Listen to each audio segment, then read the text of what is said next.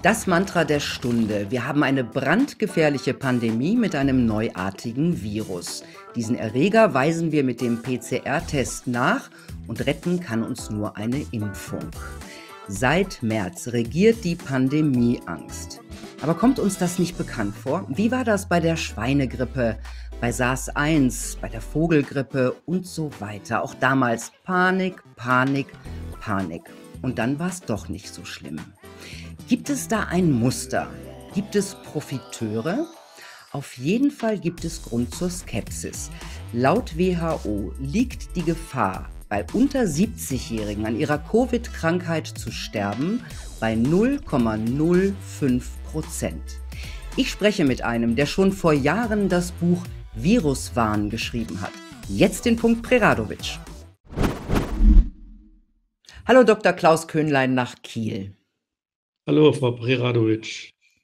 Ich stelle Sie kurz vor. Sie sind Internist mit eigener Praxis in Kiel, haben dort am Sportmedizinischen Institut der Uni promoviert und Ihre Facharztausbildung in der hämatologisch-onkologischen Abteilung des Uniklinikums Kiel absolviert. Und Sie haben zusammen mit dem Journalisten Thorsten Engelbrecht das Buch Viruswahn geschrieben, und zwar schon 2006. In diesem Jahr gibt es eine überarbeitete Ausgabe mit Corona. Ihr Buch Viruswahn ist äh, aus aktuellem Anlass natürlich ähm, aktueller denn je. Der Untertitel lautet, wie die Medizinindustrie ständig neue Seuchen erfindet und auf Kosten der Allgemeinheit Milliarden Profite macht. Ist für manche sicher starker Tobak. Welche Voraussetzungen braucht es Ihrer Ansicht nach, um eine neue Seuche zu erfinden? Um eine neue Seuche zu erfinden, bräuchte es eigentlich nur neue Tests die man auf vorher bekannte Krankheiten, äh, mit denen man vorher bekannte Krankheiten testet und dann sagt, so, das ist jetzt eine neue Erkrankung. Wir haben das erlebt mit der Vogelgrippe, mit der Schweinegrippe. Die haben sich immer auf die sowieso vorkommenden Grippezeiten äh, draufgesetzt und haben dann äh, durch einen neu eingeführten Test Krankheitsbilder von der normalen Influenza separiert sozusagen und dann hatten wir plötzlich außer der Influenza auch noch eine Schweinegrippe und äh, außer der Influenza auch noch eine Vogelgrippe im nächsten Jahr. Das war eigentlich alles relativ durchsichtig, wenn man bedenkt, dass bei der Vogelgrippe sollte das Tamiflu vermarktet werden. Und bei der Schweinegrippe sollte die Impfung äh, als Rettung vermarktet werden, die ja dann damals die Leute gar nicht akzeptiert haben. Also das ist ja dann zwar gekauft worden, aber sie wurde nicht verimpft sodass es dann auch wiederum teuer entsorgt werden musste.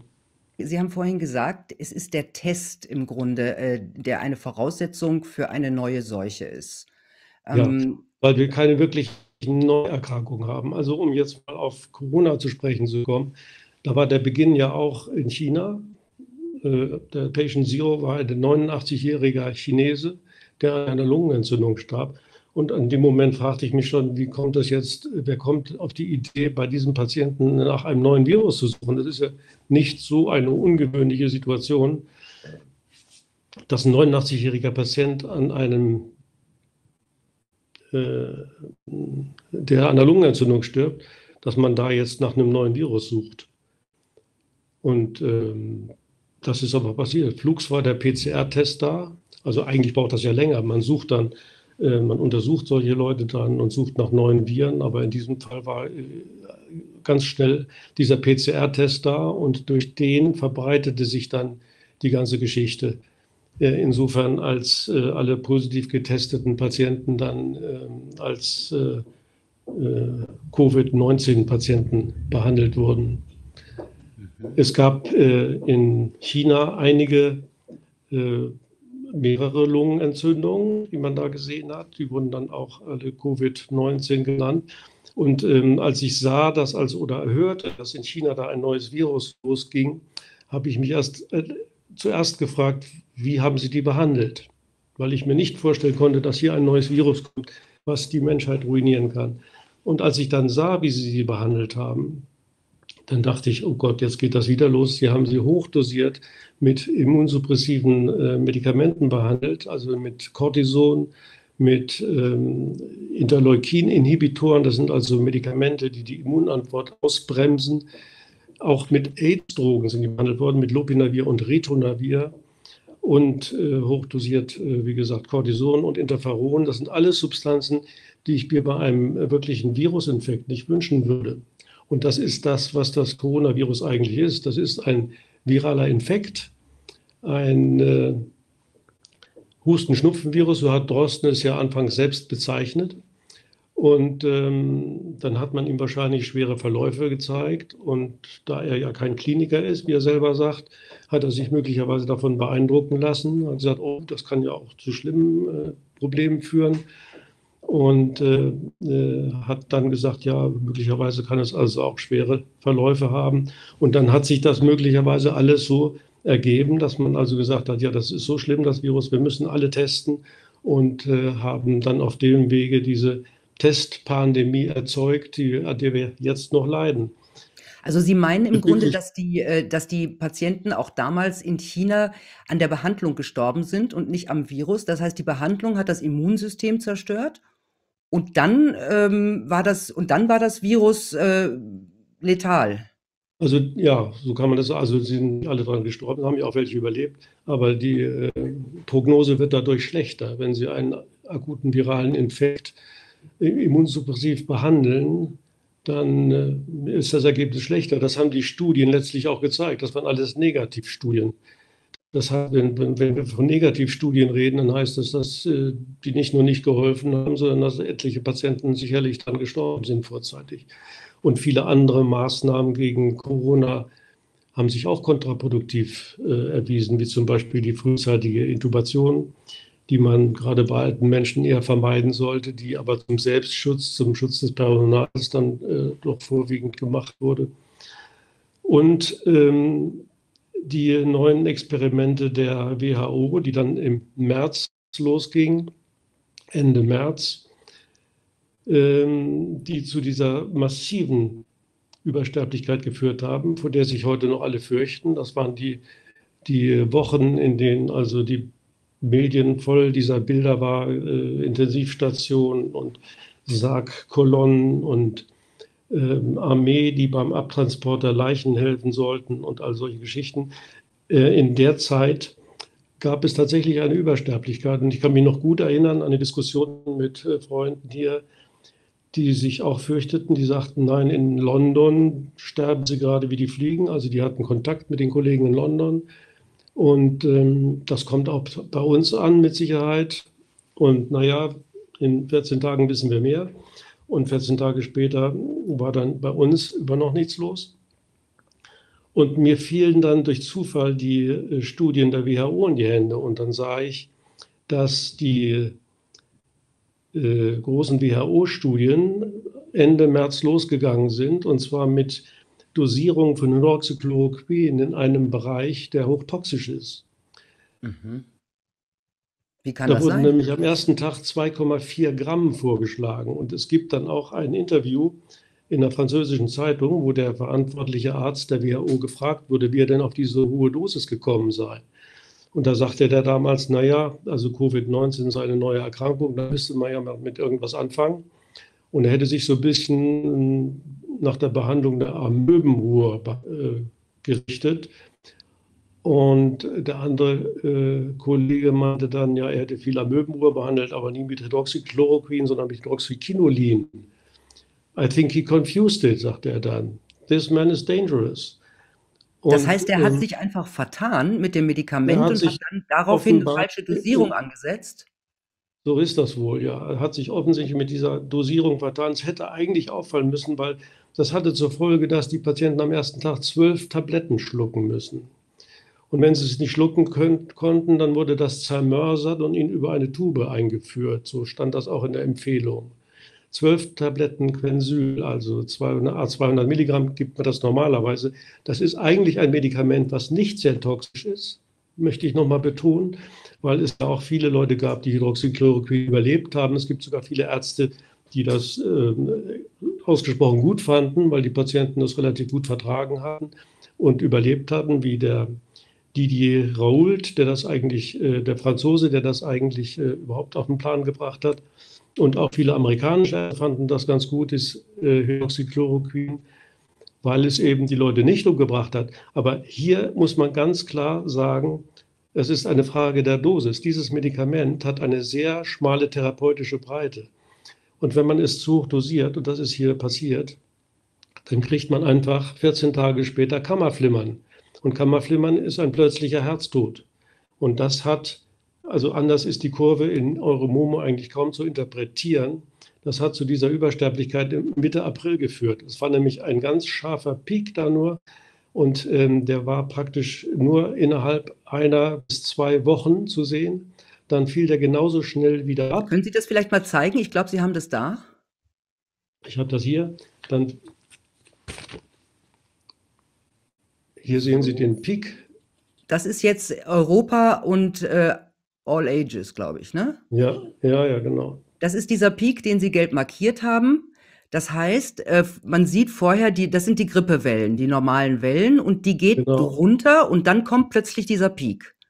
So ist es, genau. Dann kommt plötzlich dieser Peak und der dann genauso schnell wieder abfällt, weil das natürlich auch bemerkt wurde und äh, entsprechend wurden die Studien auch so äh, beendet. Und ähm, in welchen Ländern ist, ist das jetzt? So, das war ja, äh, das war ja nicht in allen Ländern, glaube ich, oder? Nee, genau, das war nicht in allen Ländern so, sondern eben nur in den Ländern, in denen diese WHO-Studien durchgeführt worden sind. Und ähm, da gehörte vor allen Dingen England dazu. Das war, England hatte auch diese massive Übersterblichkeit im April. Das heißt, das, was meine Kollegen, meine so, ja?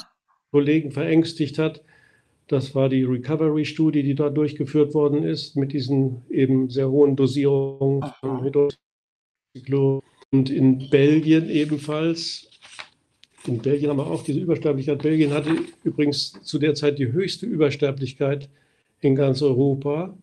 Da muss man sich auch fragen, woran das liegt, wo das ja direkt an Deutschland grenzt. Und in Deutschland war Und das wir haben da die Remap-Studie.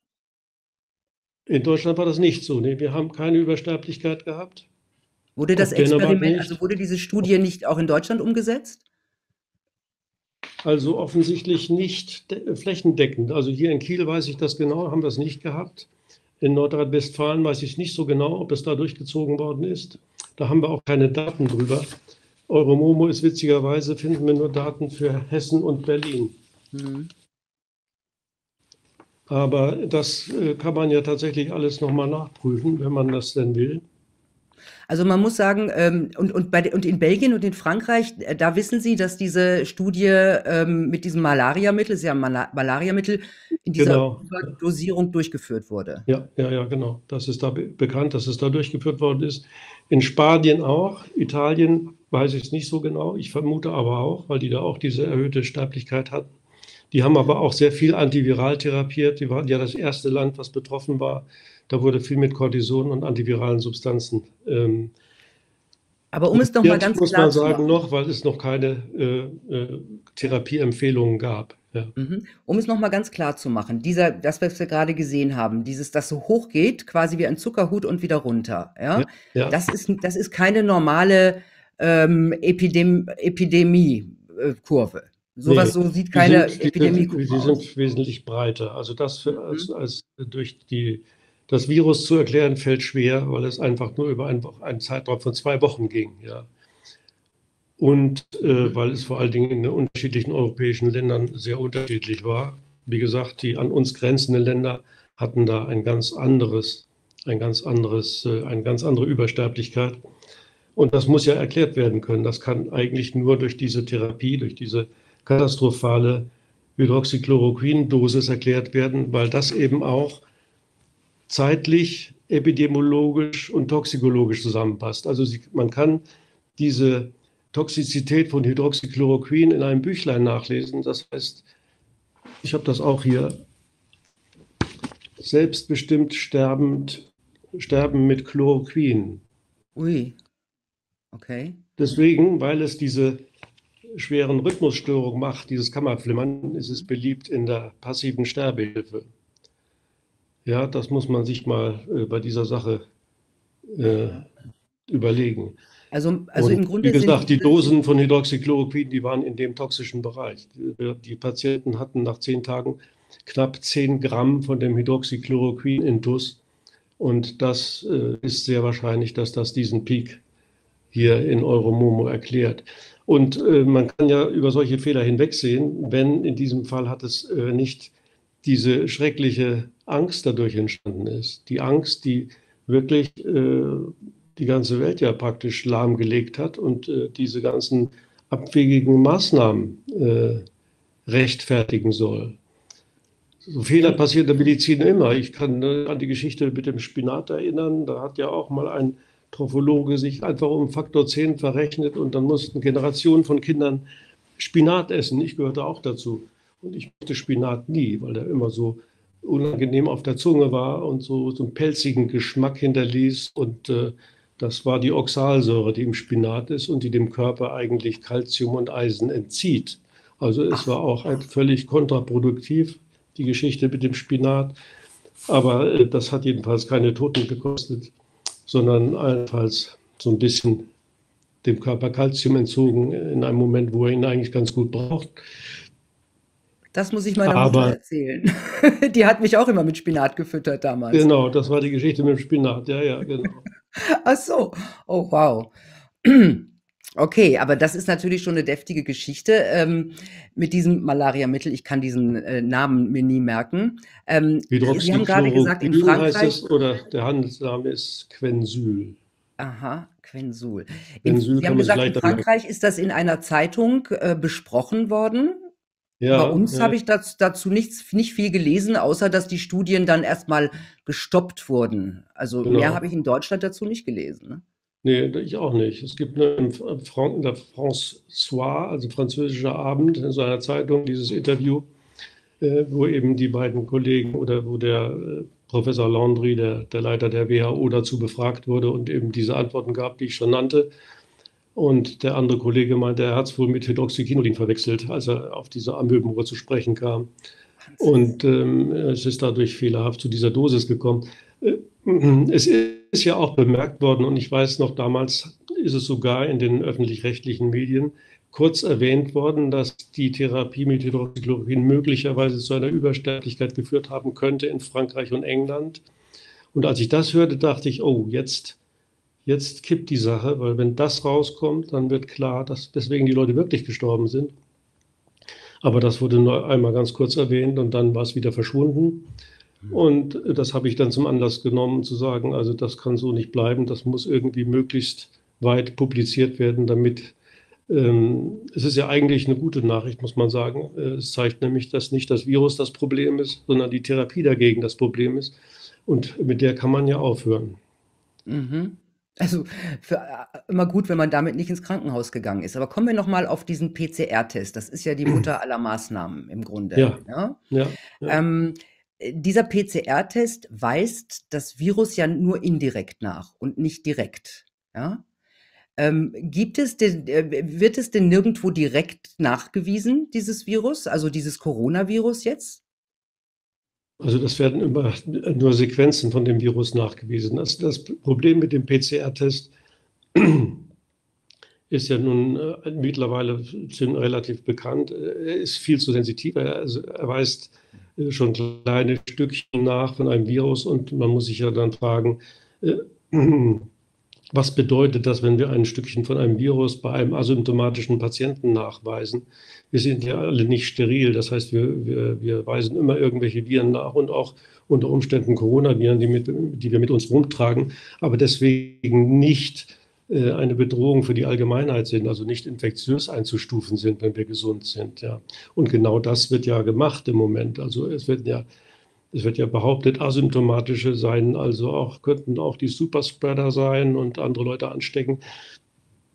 Dabei gibt es eigentlich äh, Arbeiten, die das genaue Gegenteil besagen. Also in Nature zum Beispiel ist auch eine Studie publiziert worden, die ganz klar gesagt haben, ihr habt sie hier, there were no positive tests amongst äh, 1174 close contacts of asymptomatic cases. Ja, also es ist eigentlich bekannt, dass asymptomatische nicht infektiös sind. Ja. Mhm. Weil die ähm, Virusmenge gar nicht groß genug ist oder der Virus, das Virus sich gar nicht vermehren kann, oder? Ja, weil es gar nicht in Mengen, äh, in entsprechenden Mengen da ist. Und dieser Test, der kann trotzdem positiv ausfallen. Außerdem habe ich jetzt gelernt, kann man ihn tatsächlich auch manipulieren durch die ähm, Änderung der Zyklen, die man macht, also die Änderung der Zyklen der PCR. Wenn man viele Zyklen macht, dann kann auch ein äh, ursprünglich äh, ganz schwach positiver Test dann positiv werden.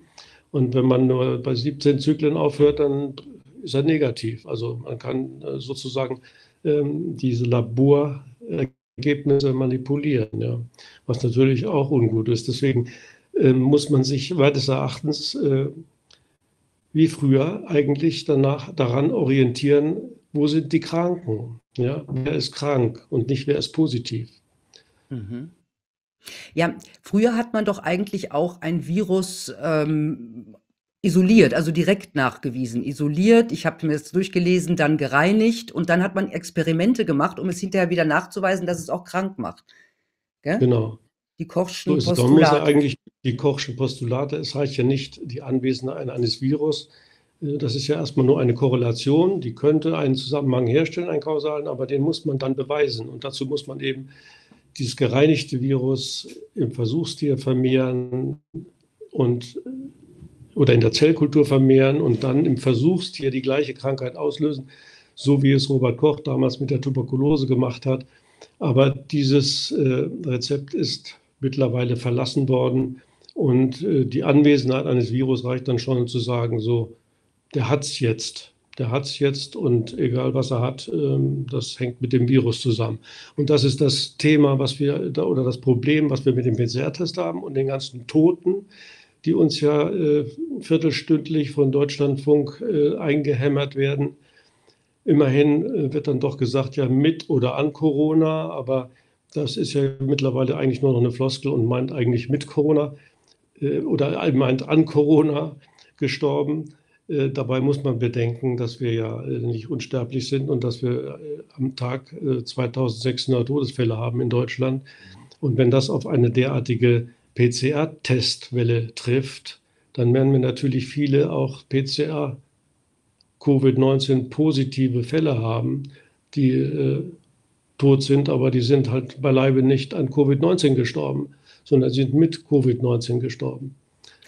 Und das ist das Verwirrspiel der Zahlen. Ja. Ich muss noch mal nachfragen, ähm, was diesen wirklichen Virusnachweis äh, und den Erkrankungsnachweis ähm, äh, dieses Coronavirus angeht. Ich habe ja mal gelesen, dieses Virus ist ja durchaus isoliert worden. Sind denn, sind denn diese Kochschen Postulate irgendwann irgendwo erfüllt worden mit diesem Coronavirus, mit SARS-CoV-2? Nee, ja, also wir haben genau dieser, dieser Frage sind wir nachgegangen und haben darauf keine ähm, Antworten gekriegt, die das belegen. Haben Sie denn gegensätzliche Antworten bekommen? Auch nicht. Haben Sie gar keine Antworten bekommen? Doch, wir haben Antworten bekommen, aber da hieß es, Sie hätten es nicht gereinigt. Sie hätten es nachgewiesen, aber nicht gereinigt. Not purified. Okay. Wow. Sehen Sie denn eigentlich Parallelen zu diesen anderen Pandemien, die sich dann als nicht so schlimm herausgestellt haben, der letzten Jahre? Reden wir von Schweinegrippe, Vogelgrippe, SARS-1 zum Beispiel? Ja, das war so ähnlich. Also da, diese, da, gab's, da hat man sich auf die sowieso vorhandene Grippewelle draufgesetzt mit einem neuen PCR-Test. Und der eine oder andere reagiert positiv auf, diese, auf dieses äh, Antigen dann. Und ähm, dann hatten wir plötzlich weniger Influenza-Fälle, dafür einige Schweinegrippefälle und äh, Vogelgrippefälle. Und äh, das Problem ist, und das ist der entscheidende Punkt, dass das klinische Krankheitsbild nicht unterscheidbar ist. Mhm. Auch jetzt äh, Covid-19, also das sind ja Erkrankungen, äh, man versucht es jetzt immer tatsächlich als etwas Besonderes dastehen zu lassen, indem man sagt, ja, Geschmacksveränderungen und solche Sachen würden auftreten. Nur, ich meine, Geschmacksveränderungen treten bei jeder Grippe auf, bei jedem Naso pharyngealen Infekt, also bei jener Sinusitis haben sie Geschmacksveränderung und, ähm, oder Geschmacksstörung. Ähm, deswegen ist es beileibe nichts Besonderes. Mhm. Und äh, wie gesagt, Covid-19, also oder eine Coronavirus-Infektion kann ich jedenfalls nicht von einer Influenza unterscheiden. Das sind Gliederschmerzen, das sind, ist Fieber, das ist Husten und Schnupfen. Und es kann in Einzelfällen tatsächlich auch mal zu Lungenentzündung führen, genauso wie eine Influenza. Und wenn man das aber unbehandelt lässt, das ist nämlich das Gute an diesen Grippen, es sind selbstlimitierende Erkrankungen. Es ist ein Zeichen, ähm, dass man sich schonen muss und äh, sechs, Wochen, äh, sechs Tage vielleicht mal ausspannen muss. Es gab ja diesen Spruch von früher immer, eine Grippe dauert mit Arzt eine Woche und ohne Arzt sieben Tage. Ne? Mhm. Aber ähm, das ist natürlich Teufelswerk für die Pharmaindustrie. Krankheiten, die von selbst wieder weggehen, sind äh, nicht erwünscht. Deswegen ist die Bemühung hier schon lange in Gange, hier mit Antiviraler. Die antivirale Medizin sagt ja eigentlich, dass es gegen das Virus kämpft, also um das Virus zu vernichten. Ähm, Versuche gemacht werden, das war damals mit Tamiflu oder äh, Schweinegrippe, was sich nicht bewährt hat, muss man ganz klar sagen. Trotzdem ist es immer noch in Gebrauch. Ich habe erlebt, dass in manchen Pflegeheimen dieses Tamiflu prophylaktisch ausgegeben wurde. Ja. Äh, jetzt zur Corona-Zeit.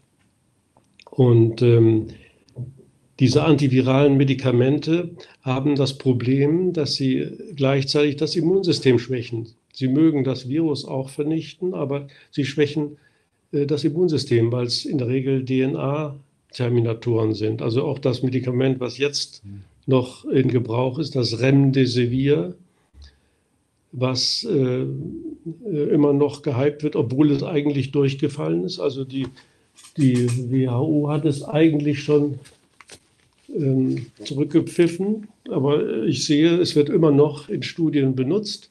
Das war ein Artikel aus der Welt. Ich weiß nicht, ob das zu sehen ist so. Aha, ja. Aha. Okay. WHO-Studie zur Covid-Behandlung. Die größte Enttäuschung ist mit Abstand das schlechte Abschneiden von Remdesivir. Und wenn das da schon steht, dann kann man befürchten, dass es die Situation eher verschlechtert hat bei äh, mhm. äh, Covid-Erkrankten. Denn, wie gesagt, äh, so eine Erkrankung, für so eine Erkrankung braucht man sein Immunsystem und Remdesivir ist auch ein Präparat, was aus der Chemotherapie kommt, ähm, die das Immunsystem schwächt. Das heißt, der Verlauf wird eher schwieriger durch diese Maßnahme. Gilt das eigentlich für alle Grippemittel, die man ähm, in der Apotheke kaufen kann? Na, die man so in der Apotheke kaufen kann, die sind ja meistens nicht so gefährlich. Okay. Da kann man sich Vitamine holen, vielleicht mal eine Aspirin oder äh, mal ein bisschen Ibuprofen, um die Gliederschmerzen. Es gibt ja auch so äh, Grippostat und all solche Sachen, wo Grippe ja, quasi schon ein Titel ist. Die wirken ganz gut auf die Beschwerden, aber den Krankheitsverlauf ändern sie eigentlich kaum. Aber man wird diese lästigen Gliederschmerzen unter Umständen los, nicht? Oder etwas früher los, sagen wir mal. Das ist ja auch schon mal was. Also das Sie ist auch schon mal was. Ja. Im Grunde brauchen wir äh, gegen diese Art von Viren, auch gegen dieses SARS-CoV-2-Virus, nichts weiter als ein starkes Immunsystem? Genau so ist das, ja. Und wie kriegen wir und das? Wenn, und wenn wir tatsächlich eine Lungenentzündung kriegen, dann sind das meistens bakterielle Superinfektionen und dann sollte man allerdings auch ein Antibiotikum einsetzen. Das würde ich dann auch machen.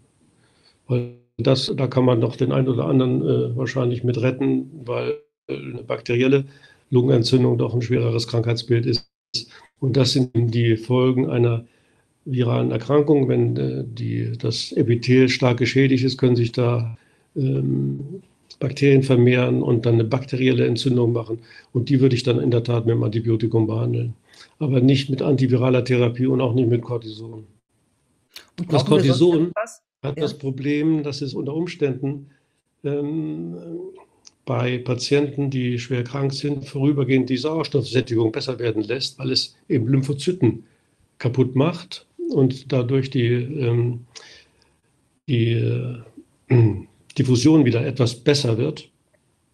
Aber auf den Verlauf der Erkrankung äh, wirkt das eher ungünstig. Deswegen würde ich versuchen, Cortison möglichst wegzulassen. Leider hat die WHO Dexamethason, was ein ganz starkes Cortisonpräparat ist, äh, durchgewunken, sodass äh, mittlerweile immer noch äh, Patienten, die mit Covid positiv markiert auf die Intensivstation kommen, erstmal einen Schuss Cortison kriegen.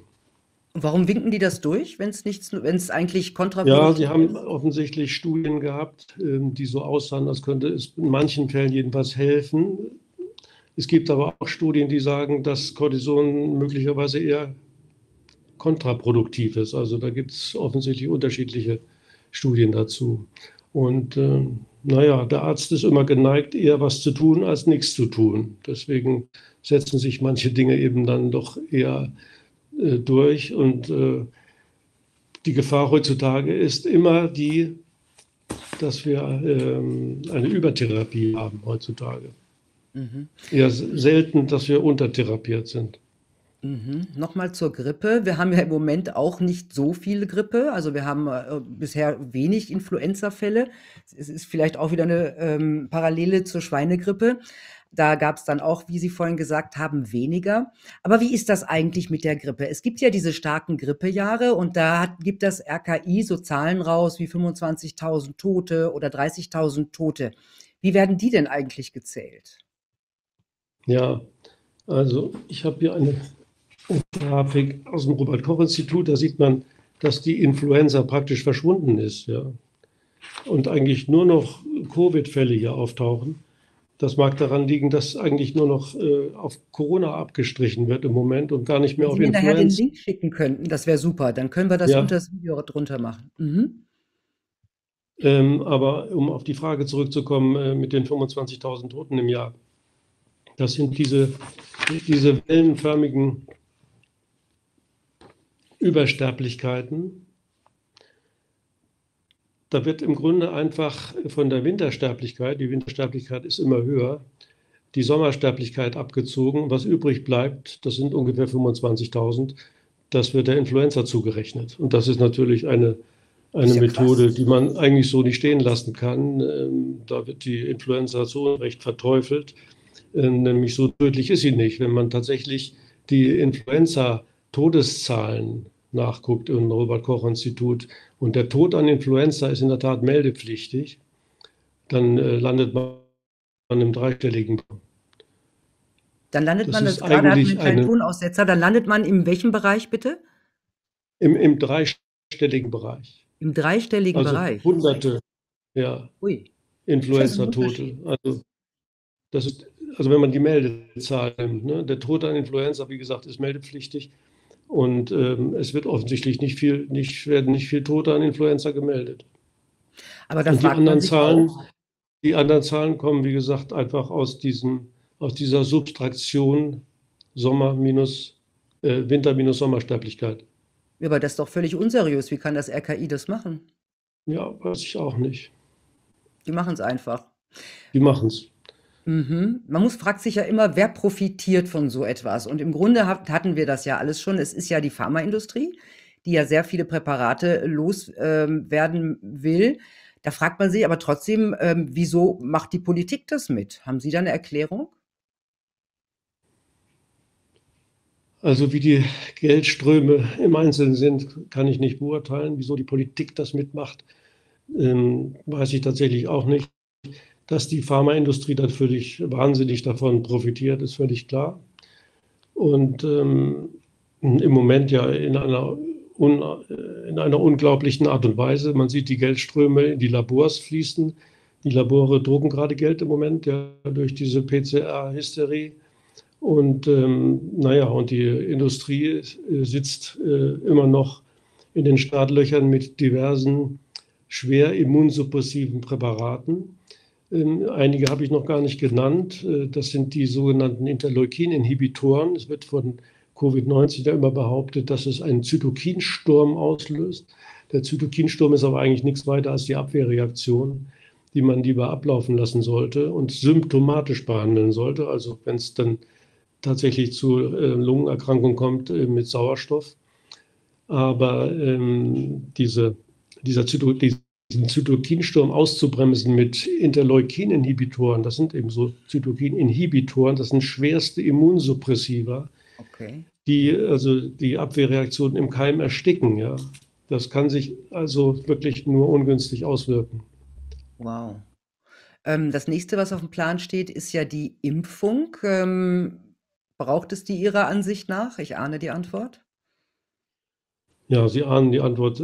Also aus meiner Sicht ist sie natürlich völlig überflüssig, weil die Krankheit selbst nicht annähernd so schlimm ist, wie sie dargestellt wird.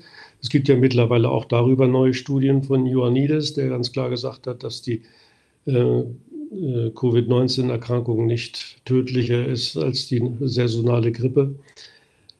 Ähm, wieso das nicht zur Kenntnis genommen wird vom Robert-Koch-Institut, weiß ich auch nicht, oder von der WHO. Äh, das ist da nämlich bekannt. Und äh, Ioannidis ist ja nicht irgendwer. Das ist einer, der genau nur sowas macht, solche Studien äh, auseinandernimmt und, äh, äh und dann aufzeigt. Genau, der sitzt Aber, in Stanford und ist quasi so eine Art Überwissenschaftler, einer der meistzitierten Wissenschaftler der Welt. Genau. Mhm. Der allerdings auch sagt, dass fast 90 Prozent der publizierten Studien Unsinn sind, ja, die wir heutzutage zu lesen bekommen. Und das fürchte ich, trifft es ungefähr. Hat das damit zu tun, dass äh, der, der bezahlt, die Studie bekommt? Bitte? Hat das damit zu tun, dass der, der zahlt, die Studie bekommt, die er möchte? Das ist sicherlich viel, äh, genau, ist sicherlich viel Korruption in dieser Geschichte dabei. Es ist ja auch so, dass die, die Editor von den großen Journals, also von ähm, New England Journal und, und ähm, Lancet, haben sich ja häufig schon kritisch geäußert über den Druck der Pharmaindustrie. Also die Editorin vom Lancet, die Garcia Angel, die ist, ist ja, hat ja sozusagen in den Sack gehauen, hat aufgehört, indem sie auch dann ein Buch geschrieben hat über die Probleme, die die Pharmaindustrie macht, also die, wie sie die ähm, Editor der Journals unter Druck setzen. Ähm, als Arzt können Sie eigentlich nur äh, glauben oder nicht glauben, was da steht. Ja? Ähm, am besten nimmt, gibt man sich einen Überblick, indem man sich die Interessenskonflikte der Autoren anguckt. Dann kann man schon ungefähr wissen, was dabei, was davon zu halten ist. Aber ähm, es ist eben schwierig. Sie, Sie, können ja nicht selbst an die Rohdaten ran. Und gerade im Falle von ähm, Hydroxychloroquin war es ja so, dass sowohl der Lancet als auch der New England Journal zwei große Studien veröffentlicht haben, in denen beschrieben wurde, dass der Studienarm mit Hydroxychloroquin doppelt so viel Tote zu verzeichnen hatte äh, wie der Non-Chloroquin-Arm. Und äh, als man dann ahnte, was das für eine Katastrophe bedeutet, hat man diese Studien zurückgezogen. Ja. Das ist unglaublich. Die sind einfach wieder retrahiert, retracted, statt da plötzlich da unter der Begründung, man sei nicht an die Rohdaten rangekommen und die äh, ja, eher aus meiner Sicht fadenscheinige Begründung, nämlich die waren ja vorher auch peer-reviewed, die Arbeiten, die da publiziert worden sind. Und dann plötzlich hinterher zu sagen, na ja, nee, das war doch nicht so gemeint, das hat schon genau, so ein bisschen einen Geschmack. Heißt von ja. anderen, peer-reviewed heißt von anderen Wissenschaftlern nochmal nach. Von anderen Wissenschaftlern über, überprüft worden, ja. Mhm. mhm. Da hat jemand richtig Druck gemacht, ne? Das, den Eindruck hat man genau. Mhm. Mhm. Ähm, Im Moment, äh, wenn man sich die Nachrichten an, anschaut, also gerade jetzt in diesen Tagen, äh, wird das Thema nochmal so richtig hochgepusht. Also als ob wir wirklich kurz vor der Katastrophe stehen. Wenn man jetzt ja. ganz, ganz böse spekulieren möchte, dann könnte man sagen, jetzt soll nochmal richtig Angst gemacht werden, bevor äh, geimpft wird. Aber das ist natürlich jetzt die ganz große, pure Spekulation. Und es gibt seit heute in den Medien die Debatte, ob Geimpfte bevorzugt werden sollen. Also diese Debatte wird jetzt gerade angestoßen. Das wäre dann die Impfpflicht durch die Hintertür. Halten Sie das für möglich, dass das so kommt? Ich befürchte das, dass die Impfpflicht durch die Hintertür kommt. Vor allen Dingen ähm, wird es ja so sein, dass das heißt, also Personen, die im Gesundheitsbereich arbeiten, müssen sich impfen lassen oder die mit Kindern arbeiten, müssen sich impfen lassen. Oder ähm, andere Gruppen oder in Altersheimen müssen sich impfen lassen. Das heißt, ähm, es ist kein direkter Impfzwang dann. Man kann sagen, ja, Sie können ja auch woanders arbeiten oder Sie suchen sich einen neuen Job. Ja. Oder Sie dürfen nicht mehr fliegen, Sie können nicht mehr weg. Äh, Qantas hat ja die, die, die australische Fluglinie hat schon gesagt, ungeimpft fährt ja keiner mit. Also es ist ganz offensichtlich so, dass hier eine Impfpflicht äh, über die Hintertür eingeführt wird, also eine indirekte Impfpflicht. Sie werden nicht festgehalten und geimpft, sondern ihnen wird halt äh, dieses oder jenes verboten, wenn sie nicht geimpft sind. Wahrscheinlich wäre das halt auch verfassungsrechtlich schwierig und deswegen dann so. Ja. Vielen Dank, Dr. Köhnlein nach Kiel. Ich befürchte, uns steht noch ein schweres Jahr bevor. Ja, ich danke Ihnen recht herzlich für Ihre Ausführungen. Tja, Leute, ähm, das Beste, was wir machen können, wir haben es gerade erfahren, ist unser Immunsystem stärken. Und dazu gehört auch, dass wir nicht panisch werden, in keine der Richtungen panisch werden. Also raus in die Natur, gelassen sein, viel schlafen und dann sind wir für alles gewappnet, was noch auf uns zukommt. Ich wünsche euch eine gute Zeit. Bis dann. Tschüss.